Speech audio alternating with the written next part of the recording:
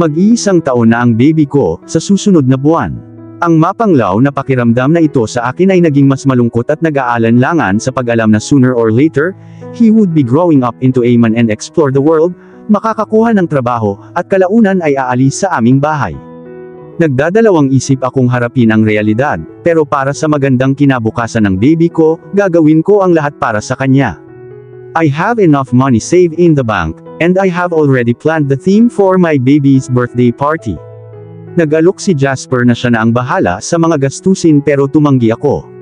Hindi na siya lumaban dahil alam niyang hindi siya mananalo, sa halip, iminungkahi niya na asikasuhin ang mga teknikal na bagay tulad ng mga lights and sounds, at ang pagkuha ng pictures.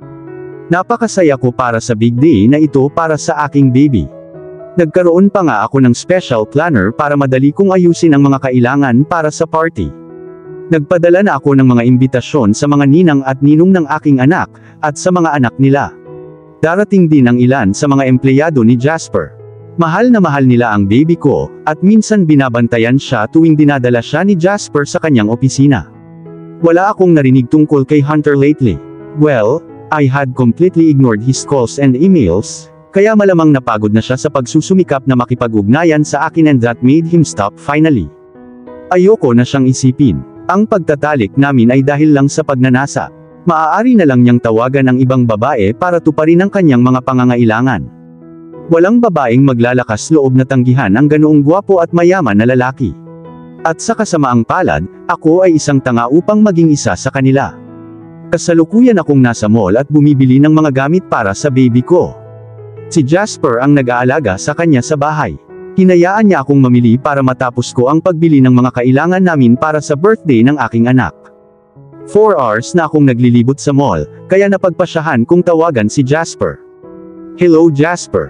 Hi Via. Kamusta ka dyan? Everything's good. Malapit na akong matapos. I just called to check on you and my baby. He has been very behave and always looking cute. Sabi niya habang humahagikgik. Siguradong kiniliti niya ang baby ko, dahil naririnig ko ang mga tawa ng baby ko. Bigla kong narinig ang salita ng baby ko na parang may naglalaro sa kanya. Naramdaman kong hindi si Jasper yun. Kuminto ako para makinig pa. Jasper, where are you? Itinanong ko. Lumabas kami saglit. Um, nasa park kami ngayon, yeah. Parang kinakabahan si Jasper. Kahit sa phone, kilala ko si Jasper. Ramdam na ramdam ko ang sarili kong kapatid. Via, we have to go now. I will be tour this cute baby around. Ulalas niya. Sige, nagdadalawang isip akong tapusin ang tawag. Gusto kong tanungin si Jasper kung sino ang kasama nila pero natapos na ang tawag. Hindi ko na inabala ang sarili ko. Nagpatuloy ako sa paglibot sa mall hanggang sa mapagod ako. Umuwi ako ng bandang 5pm at nadatnan ko si Jasper na natutulog sa sopa kasama ang aking baby na nakahiga sa kanyang dibdib, naligtas na nakapulupot sa mga braso ng kanyang tiyuhin. Nakabukas ang telebisyon. Siguradong nanunood na naman sila ng cartoons. Dahan-dahan kong isinara ang pinto at tinapik ang aking mga daliri sa paa. Jasper, gising na. Nakauwi na ako. Dahan-dahan niyang iminulat ang kanyang mga mata, habang kinukuha ko sa kanya ang natutulog kong baby. Bahagyang gumalaw ang baby ko, at nagham ako para makatulog ulit siya. Hinalikan ko muna siya sa ulo bago siya inilagay sa crib. Paglabas ko ng kwarto, naabutan kong may kausap si Jasper sa phone niya sa napakahinang boses at kinindata niya ako. Kumagikgik ako at nilabas ang aking dila. Naghanda ako ng aming hapunan, pagkatapos ay kumain na kami at naglinis ng mga pinagkainan.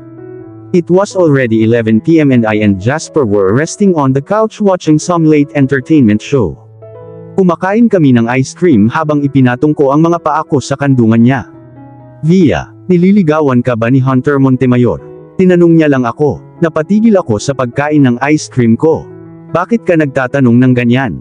Sumagot ako. Well, he called you like every day. At binisita kanya dito at nanatili pa. Hindi ko lang maintindihan kung bakit mo siya iniiwasan ngayon. Siya ay isang old friend sa London. Sagot ko habang nakatutok ang mata ko sa TV screen. Am I missing something? Wait, crush that. May hindi ka ba sinasabi sa akin? Kumunot ang noo niya. Inusente kong ipinilig ang ulo ko. You will tell me if you like someone right. Matamis niyang tanong at tumango lang ako habang dinidilaan ang kutsara. You are still young. Kung may gusto kang e-date, go for it. Hindi kita hahadlangan basta't ito ang nagpapasaya sa'yo. He genuinely smiled at me and I awkwardly smiled back. Jasper, alam mo naman na hindi na ako interesado sa mga lalaki. Interesado ka ba ngayon sa mga babae? Piro niya sa katumawa ng malakas. No, natawa ako sa hiya at mapaglarong hinampas ko ang braso niya. Mas lalo kaming nagtawanan at nag-away ng unan sa isa't isa. Nung kumalma na kami, niyakap niya ako ng masigpit. Alam mo namang mahal na mahal kita diba? Tumango ako bilang tugon. At mahal ko rin si baby Nico. Ngumiti ako sa kanya, at tumango na parang bata. Matulog ka na, witch. Pinitawan niya ako at bumaba sa couch para itapon ang mga cup ng ice cream. Kung ako ay isang witch, kung gayon ikaw ay isang pangit na troll. Sagot ko pabalik na natatawa habang parang bata niyang nilabas ang dila. Dumating na sa wakas ang pinakahihintay na Big Friday. I woke up as early as 4 a.m. so I could furnish everything up. Ang aking baby ay payapang natutulog at adorably snugging sa kanyang asol na kumot. Kahapon, dumating ang malalapit kong kaibigan na sina Katie at Margie para tulungan akong palamutihan ang apartment. Ang mga ninang ng aking baby ay tuwang-tuwa para sa araw na ito. Ihahatid ang birthday cake ng 9am gaya ng hiniling ko. Nagluluto ako ng almusal nang lumabas si Jasper mula sa kanyang kwarto na gulo-gulo ang buhok. Where is my birthday baby boy? Sigaw niya at pumalakpak ng parang bata. Natahimik ako sa kanya habang tumawa ng mahina. Masyado pang maaga para gisingin ang baby ko. Coffee. Alok ko. Please, he pouted at umupo sa upuan habang may tinatype sa phone niya. Maagang darating si Mark. Tutulungan niya akong ayusin ang mga camera. Sabi niya pero nanatiling nakatingin sa phone niya. Matalik niyang kaibigan si Mark simula high school. Parang kapatid, lagi niya akong pinuprotektahan simula bata pa kami. Itinuring ko siyang pangalawang kapatid at palagi niya akong tinuring na parang kapatid na hindi niya kailanman naging kapatid. I never got attached to him romantically, hindi siya umindayog sa ganoong paraan. Pumalik ako sa kwarto, pero nagulat ako nang makita kong gising na ang baby ko. Hindi ko siya narinig na umiyak. Nakatingin lang siya sa itaas ng kisame at nakangiti ng mapaglaro. I could him up at tumawa siya habang hinahawakan ang mukha ko.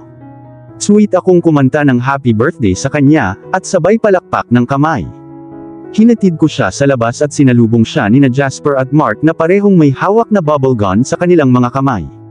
Mapaglaro nila kaming binaril ng mga bubbles at ang aking baby ay humagikgik. Siya ay labis na nasiyahan sa pagpopopong ng mga bula habang si Mark ay nag-shot. Sinimulan kaming eye record ni Jasper habang nilalaro namin ang mga bula. Nakabuo kami ng isang tema ng zoo, at ang bawat bisita ay magsusuot ng costume na hayop. Nagmistulang gubat ang apartment na ngayon ay napapaligiran ng matataas na halaman. Suot ni Jasper ang kanyang pink bear costume. Halatang hindi naman siya nakakatakot.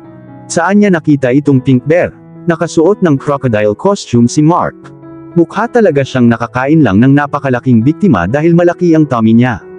Ang aking baby ay nakasuot ng kanyang mabangis na cute na costume na lion, at gumuhit ako ng tatlong parallel na linya sa bawat isa sa kanyang mga pisngi na parang sa isang pusa. Ako naman ang sexing Eve. Nagmukha akong cave woman, the queen of wilderness. Ang mga taong inimbitahan ko ay naruroon lahat, at nakasuot ng kanilang mga costume na panghayop, pati na rin ang mga bata. Tiyak na naging zoo ang apartment ngayon. Eksaktong 10 minutes to 9, nakarinig kami ng katok sa pinto, it must be the birthday cake. Pinuksan ng kasamahan kong si Melissa ang pinto at sumigaw. Nandito na ang cake. Pagpasok ng delivery man, nagulat kaming lahat. Naiwang nakabukas ang bibig ko.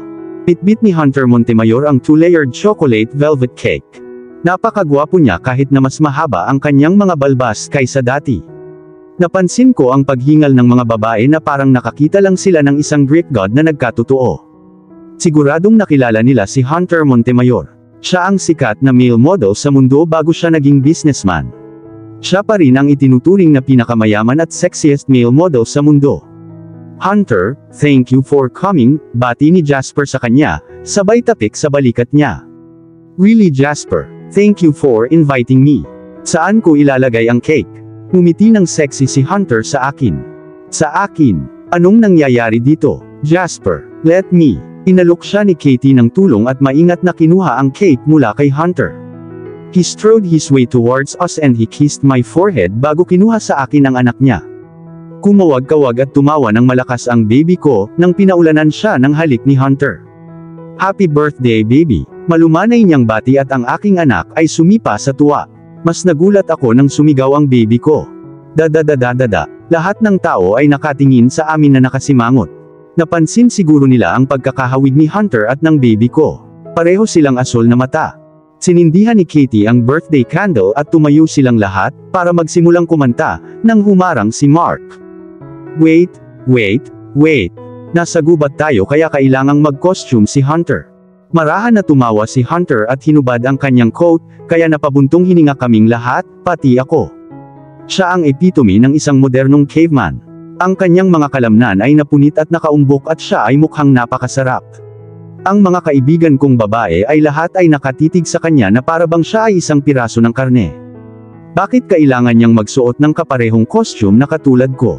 Nagiging awkward na ito. Well, Via, may Adam ka. Ulalas ni Mark at kinindatan ako. Naramdaman kong namula ang pisngi ko nang magsimulang magbiro at mag-cheer sa amin ang iba. May hawak na video camera si Jasper na nakatutok sa amin, at nagsimulang kumanta si Katie habang nag-chorus ang lahat. My baby was chuckling and kicking and he looked so overwhelmed by the attention of the people around him. Nakatayo si Hunter malapit sa akin, he smelled dangerously fragrant luring me to him. Nang matapos ang kanta, lumapit ako sa cake habang nakahawak sa dibdib ko ang baby ko para iblow niya ang kandila. Napaka-cute niyang tingnan na pinapanood ang maliit na apoy sa pagkamangha. Siguradong nagtataka siya kung bakit malapit ang mukha niya sa orange na apoy. Blow baby. Mahinang sabi ko sa kanya, habang hinihipan niya ang kandila. Tapos nagpalakpakan kaming lahat at ganun din siya. Si Mark ay abala sa pagkuha ng mga larawan habang si Jasper ay tumatakbo sa pag-record ng bawat moment. Ipinasyal ni Katie ang baby ko at mukhang nag-e-enjoy siya sa atensyon na nakukuha niya. Napakaganda ng araw na ito. Napabuntong hininga ako at tahimik na umungol. Natagpuan ko si Hunter na nakikipag-usap sa ilan sa aking mga kaibigang babae habang may hawak na isang baso ng juice sa kanyang kamay. Sinalubong niya ang tingin ko at ngumiti siya ng delikado. Napansin kong nag-excuse siya at naglakad papunta sa akin. Hi baby, sabi niya habang hinihila ako sa bewang ko. Sa totoo lang, nahuli ako. Lumingalinga ako sa paligid para tingnan kung may nanunood pero occupied silang lahat, kumakain, kumakanta, nakikipagkwentuhan at nagtatawanan. Hawak-hawak ngayon ni Margie ang baby ko, at parang ang saya-saya nilang nakikipaglaro ng mga bubbles kasama ang ibang bata. Pinisil ng matigas niyang dibdib ang dibdib ko. Hindi nakakatulong itong costume ko. Maaari bang maging discreet ang lalaking ito minsan? No I can't, lalo na kung malapit ka. Nagsalita siya at napatingala ako sa gulat. Nasabi ko ba ng malakas? I wiggled to free myself from his arms pero mas hinigpitan niya pa ang pagkakayakap sa akin. Pitawan mo ako, Hunter. Sabi ko sa mababang tono. Ayokong mapansin kami ng iba. Pinalaya niya ako sa wakas, pero hindi siya umalis sa aking mga mata. Thank you for coming. Sabi ko habang nakatingin sa baba para iwasan ang tingin niya. I don't want to miss our son's first birthday. Mahinahon niyang sabi. Paano mo nalaman na birthday niya ngayon? Hindi ko naman nasabi sa'yo. Oo, hindi mo pa sinasabi sa kanya via. Naging abala ka sa pag-iwas sa kanya. I have my ways. Napakaganda ng araw. Nagsaya kaming lahat at maraming regalo para sa baby ko. Umuwi ang lahat bandang alas 3 ng hapon. Si Katie, Margie, Mark, at Jasper ay nanatili pa ng kaunti para tulungan akong maglinis ng bahay. Hinatid ni Mark si Margie sa kanyang pwesto habang inalok ni Jasper si Katie na sumakay bago siya matanong ni Mark kung gusto niyang sumama. May something sa dalawang ito. Naiwan kaming mag-isa sa bahay kasama si Hunter. Niyakap ni Hunter ang baby ko sa dibdib niya habang pinagmamasdan nila ang mga isda sa aquarium. Masigla silang nag-uusap na parang nagkakaintindihan habang nakaturo ang kanilang mga daliri sa mga isda.